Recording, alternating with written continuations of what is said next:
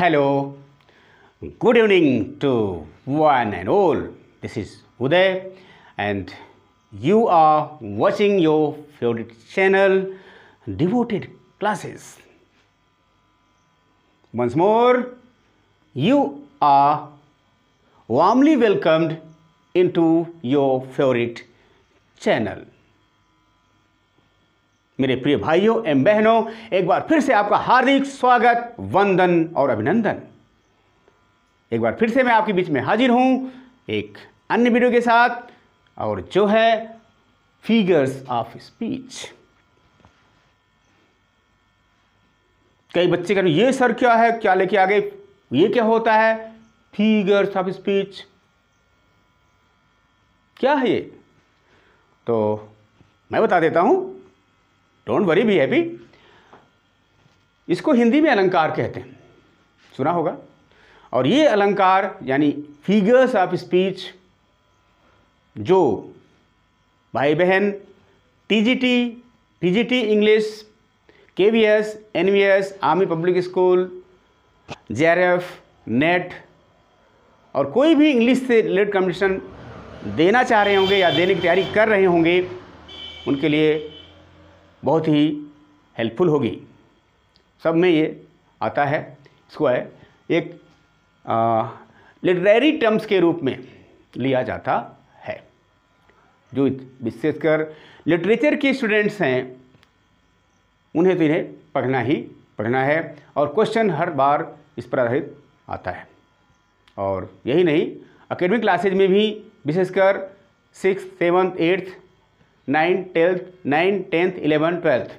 वहाँ भी क्वेश्चन जो है, चाहे डायरेक्टली या इनडायरेक्टली फिगर्स हाउस चीज़ पर क्वेश्चन पूछे जाते हैं। फाइन सो इसे आप अच्छे से समझें, ये क्या है। फाइन जिन बच्चों ने हिंदी में पढ़ रखा होगा, उनके लिए इसे समझना कठिन नहीं होगा। हिंदी में ही कहते हैं इति अलंकरोति स अलंकारा। Anything any element that increases the beauty of the poem is called figure of speech. काव्य के तत् मतलब जिन तथ्यों से काव्य या कविता की शोभा, सुंदरता बढ़ जाती है, उसे अलंकार कहते हैं। पढ़ा होगा आपने? वही चीज़ यहाँ पर भी है। हमारे रेन और माडी साहब ने परिभाषा दी है इंग्लिश में। यहाँ आप देखें। The departure from ordinary course of ideas to produce a greater effect is call figure of speech क्या है भैया? क्या फिगर ऑफ़ स्पीच ये कह रहे हैं डिपार्चर मीन्स प्रस्थान कर दो, यानी थोड़ा सा हट जाओ। कहाँ से? फ्रॉम द ऑर्डनरी कोर्स जो क्रम चल रहा था, है ना? कोई चीज़, किसी बात का क्रम जो चल रहा था, साधारण तौर से जो बातें आप कह रहे थे, उसे थोड़ा हट जाओ।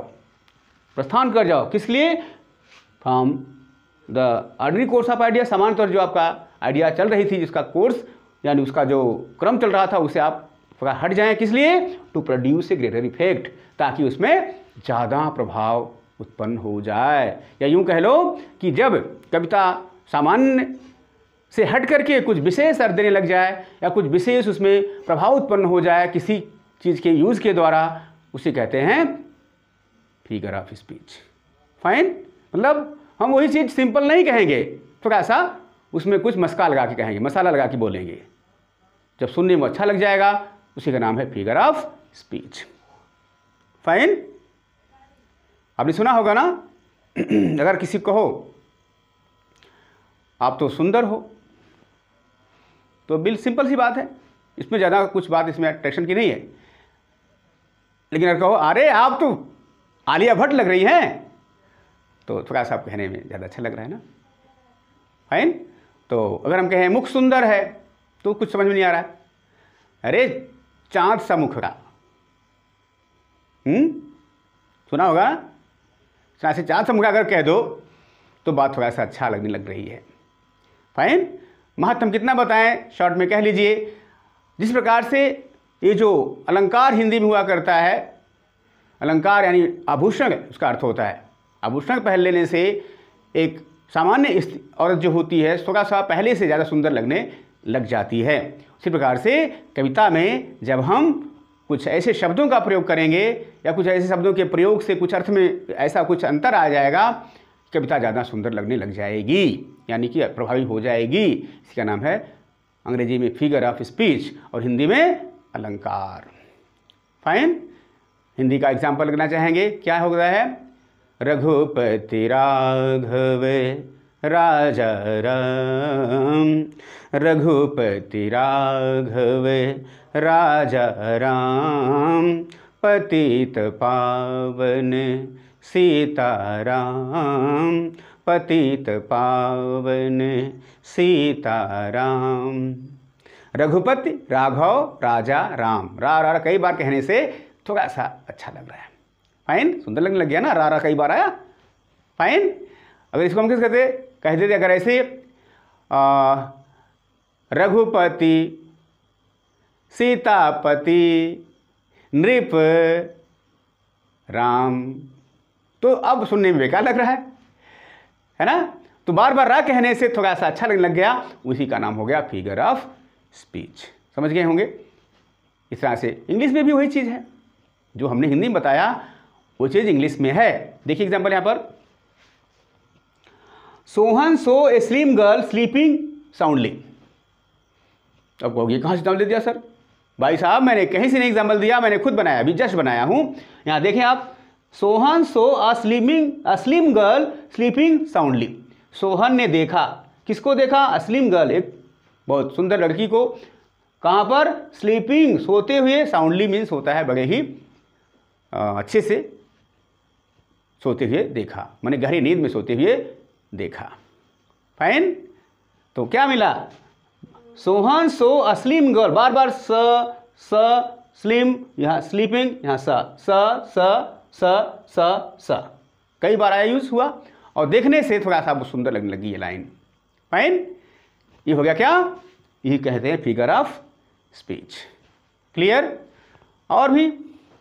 बेटी, बोट भाई, कई बार एग्ज़ाम्पल मैं क्लास में देता हूँ, वही एग्ज़ाम्पल मैंने यहाँ पर लिया है। यही सेंटेंस बोले आप लोग।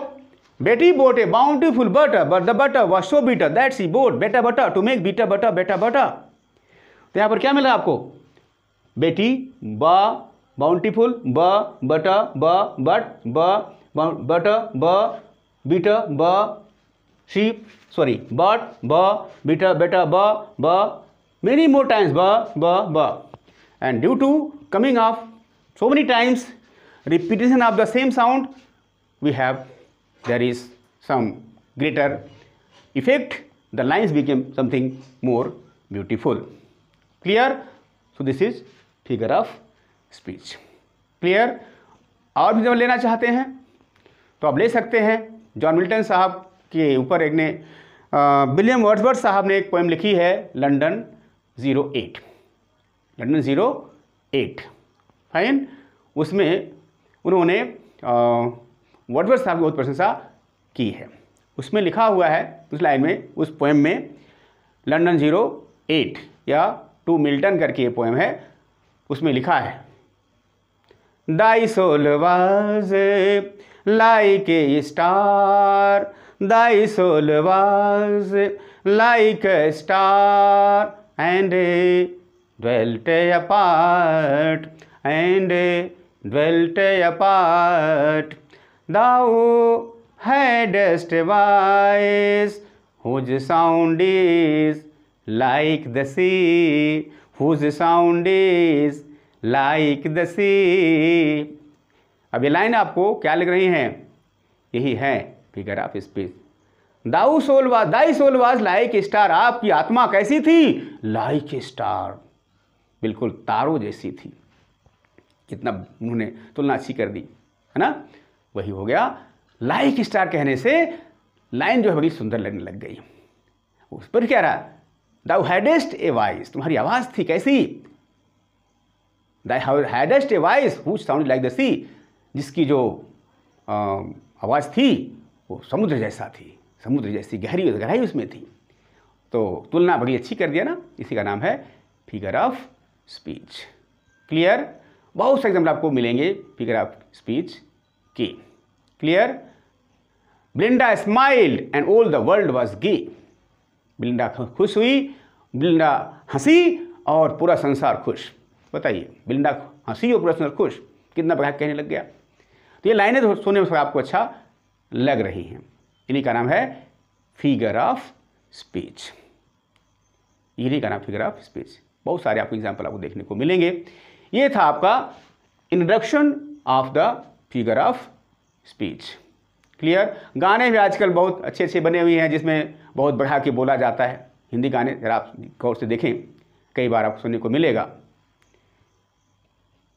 चाँद, सितारे, फूल और कलियाँ, ये तो सारे पुराने हैं। चाँद, सितारे, फूल और कलियाँ, ये तो सारे पुराने हैं। ताज़ा ताज़ा कली खिली है, हम इसके दीवाने हैं। ताज़ा ताज़ा कली खिली है, हम इसके दीवाने हैं। अब ये क्या लाइन है? यहाँ भी देखिए यूज़ कितना अच्छे से कर रहा है। बढ़ा के कह रहा है बहुत ज़्यादा। फाइन तुलना कर रहा है। कभी कभी मतलब गायक। फाइन चाँद, तारे, फूल, कलियाँ सब बेकार हो गए। ये तो सारे पुराने हैं। और आप, यानी लड़की की बात कर रहे हैं, चाँद, सितारे, फूल और कलियाँ, ये तो सारे पुराने हैं। अब बेकार पड़ गए। ताज़ा ताज़ा कली खिली है। आप तो ताज़ा ताज़ा नई नई कली खिली हैं। हम इसके दीवाने, हम जिसके पागल आपके पीछे पागल हैं। फाइन कहने मतलब कितना बढ़ा के कह रहा है। और तुलना भी कर रहा है। ये क्या है? फिगर ऑफ़ स्पीच फाइन धूप में निकलान करो। रूप की रानी। धूप में निकला न करो रूप की रानी। गोरा रंग काला न पड़ जाए। गाना तो आता नहीं फिल्मी गाना। फिर भी मैं समझाने के लिए बता दिया। क्या? धूप में निकला रूप की रानी बता दिया। किसी सामान्य औरत को रूप की रानी की तुलना कर दिया उसके साथ। तो क्या हो गया? फिगर ऑफ़ स्पीच सुनने में अच्छा लगने लग गया। क्लियर आज मौसम बड़ा, बेईमान है बड़ा। बेईमान है बड़ा आज मौसम, हो आज मौसम बड़ा। बेईमान है बड़ा, बेईमान है बड़ा आज मौसम आज मौसम। और अभी साहब ने क्या कहा? मौसम को भी और बता दिया, बताइए। मौसम के विमान होगा विमान तो हम और आप हुआ करते हैं। रफी साहब कहने लग गए। तो ये सब क्या है? यही है फिगर ऑफ़ स्पीच फाइन ये था आपका आज परिभाषा किसकी? फिगर ऑफ़ स्पीच की। यहाँ अच्छे से देखें। दूसरा हमने पहले परिभाषा में समझा दिया तो दूसरी परिभाषा देखिए। Second definition elements use for increasing the beauty और इफ़ेक्ट ऑफ़ द पोएम यानी वे तत्व जिनका प्रयोग किया जाता है किसी सौंदर्य को बढ़ाने के लिए या उसके प्रभाव को बढ़ाने के लिए किसके? किसी पोएम के। किसी की किसी पोएम के या किसी कविता के सौंदर्य को बढ़ाने के लिए जिन तत्वों का हम प्रयोग करते हैं, उसी कहते हैं फिगर ऑफ़ स्पीच अंग्रेज़ी में अलंकार। सॉरी हिंदी में अलंकार, अंग्रेज़ी में figure of speech clear so this is the introduction आप, मैंने आपको परिभाषा की बताई और इसका परिचय अच्छे से दिया। Any problem so I think no problem इसके आगे अगली कड़ी में हम आपको बताएँगे जो ज़्यादा ज़रूरी फिगर ऑफ़ स्पीच है। पहले उसको हम बताएँगे इसके बाद हम जैसे सारी चैप्टर हम सारी सीरीज़ चल रही है वैसे इसकी भी सीरीज़ चलेगी। और प्रयास है हमारा कि टीजीटी में पीजीटी में केवीएस एनवीएस या जेआरएफ नेट जो भी फिगर ऑफ़ स्पीच पूछे जाते हैं सब हम आपको धीरे धीरे सिस्टम से समझाएँगे। सो so, बने रहिएगा जब भी हम वीडियो इस पर डालते हैं किसकी? फिगर ऑफ़ स्पीच की दूसरे वर्ड में लिटरेरी टर्म्स की। तो उसे आप अच्छे से देखें शुरू से अंत तक देखें। आ, कई बच्चे गलत फहमी में रहते हैं। मेरे भाई बहन मेरा अनुरोध है कि आप हमारी वीडियो जब भी आप देखें तो शुरू से अंत तक देखें। बीच में आप देखेंगे समझ में नहीं आएगा। जब शुरू से अंत तक देखेंगे हमारी गारंटी है आपकी समझ में अच्छे से आएगा। बस अनुरोध है नम्र निवेदन है करबद्ध हमारी वीडियो आप शुरू से अंत तक देखें। हमारा वादा है कि समझ में आएगा और ज़रूर आएगा। पूरा विश्वास है बस शर्त ही है कि आप वीडियो को शुरू से अंत तक देखें fine so this way I just introduce what the figure of speech so next time I come with most important figures of speech and explain them by one. So don't worry, be happy. Clear? That's enough for today.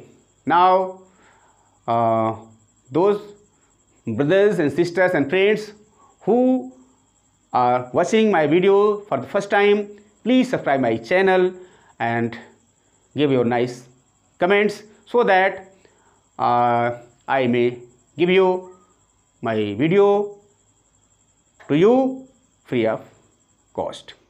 So uh, now that's enough for today. Until I make other video, keep on smiling, laughing, enjoying your life and practicing more and more. Now bye bye. See you. Take care.